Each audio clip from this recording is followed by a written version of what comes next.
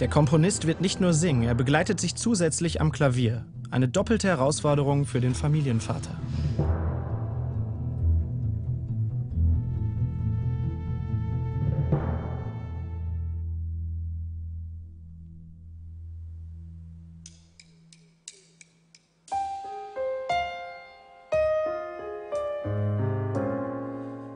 Baby, seit du fort bist,